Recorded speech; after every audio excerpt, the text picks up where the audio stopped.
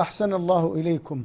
فضيلة الشيخ بالنسبة لليوم آه، العاشر يا فضيلة الشيخ ما الأفضل آه، للحاج المفرد أن يعمله في هذا اليوم؟